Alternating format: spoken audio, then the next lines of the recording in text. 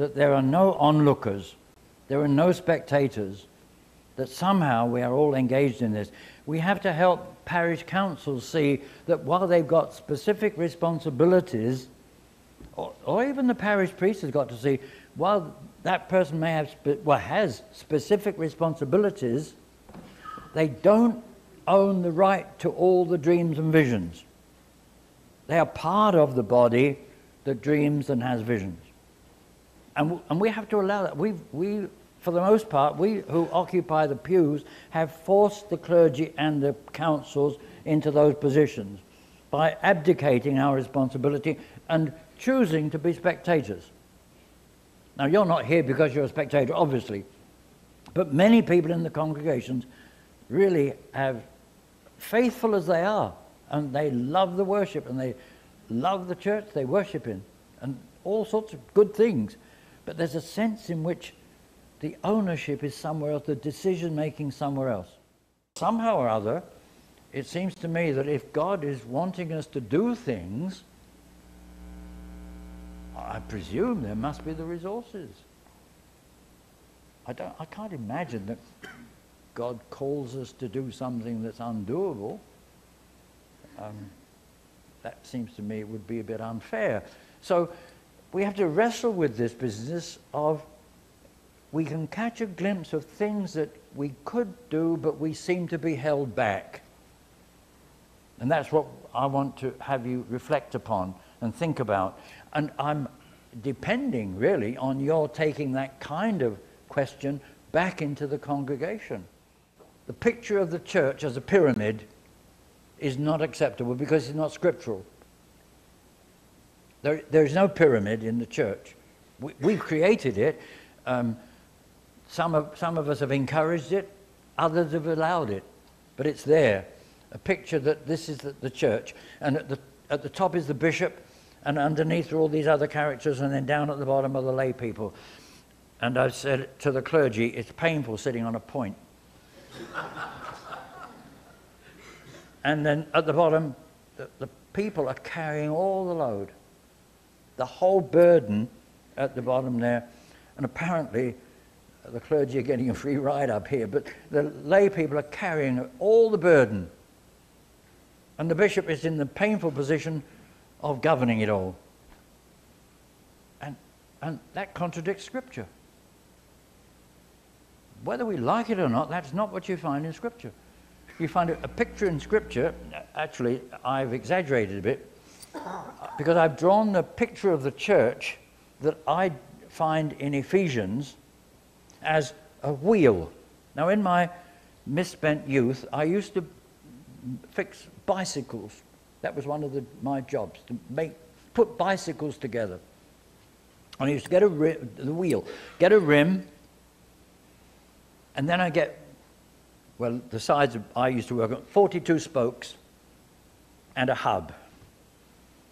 And I had to gradually build the, the, the, the, the wheel by putting key spokes in until the hub was central, and then put the rest of them in. And then I had to adjust every single spoke um, constantly until eventually they were all the same tension, and that when I would spin the wheel on the hub, it would not wobble back and forth like that, it would be run true. And if I had over tightened one of the hub, one of the spokes, it would, it would go around, it would go, mm, mm, mm, or sometimes, and I had to keep going until it was. And at that point, it was running as it was meant to run, with every part playing its part so that the thing worked properly. And you see the image? I, I sometimes say to people, what, what do you think is the most important part of the wheel?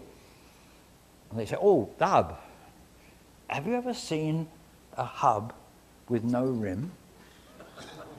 It makes for painful riding. Oh, well, sorry, it, it's the spokes. Oh, I see. So you have a hub and a, a rim, but no spokes. Well, perhaps the rim is the most important. Yeah, but if there are no spokes and no hub, every part is absolutely essential Each one has a different job to do, but not one is more important than another. That is a picture of the church. But we, we cannot, as stewards, assume that we can say, This is our territory, and we're going to not only survive in it, but we're going to preserve everything that ever was. Uh, not and be stewards. Not and recognize it's all entrusted not and recognize that we're meant to do something and God is meant to find some joy in it and some benefit in it. The, the survivalist, well, let's put it this way the determination to survive is suicidal. Who, who first said that? Well, I did. Didn't you hear me? Now, who, who, Jesus said, if you would save your life, you'll lose it. That's, that's exactly what he meant. If you, if you clutch hold of what you've got and, and are determined to survive, if that's your focus, you'll lose it. That's suicidal. If you're prepared to let go of that and get on with the business of being stewards, you'll save it, says Jesus. Let's make no mistake about it.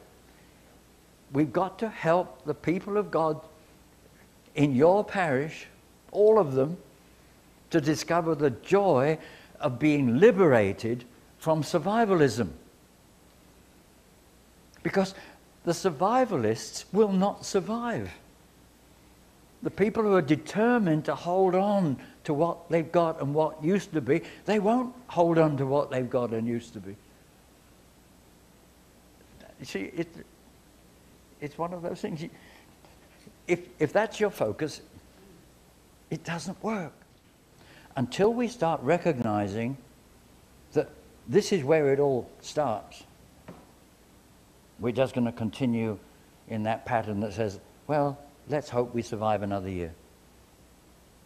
And we, we have to start choosing our officers with that in mind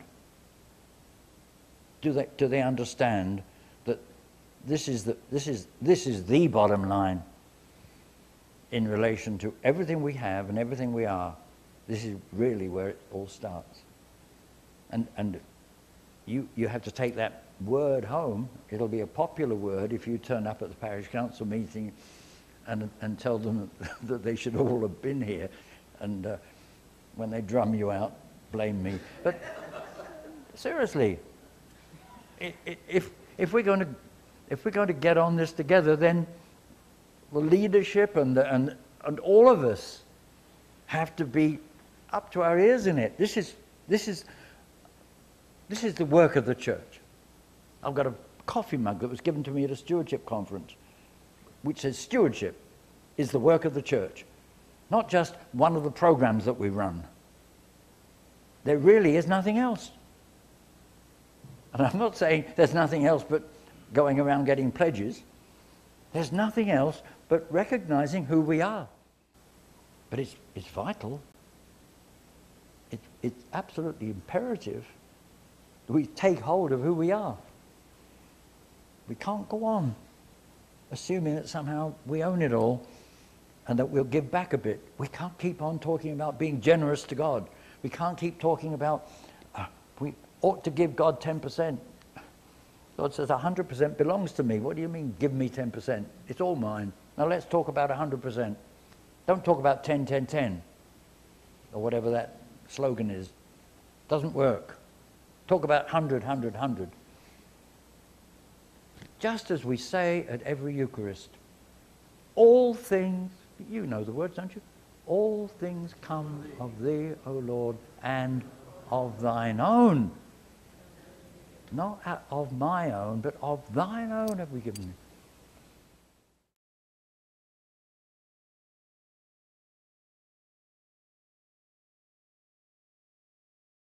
It really comes down to that business of what are we doing for God out there where God lives and works. When Jesus rose, the message to the disciples is an interesting one he said the message to them was that they were to go to Galilee and that there they would see him.